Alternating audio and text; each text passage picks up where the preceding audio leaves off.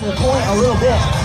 You can feel how it kicks up and then dies down, and then kicks up and then dies down. It's so frustrating for the riders.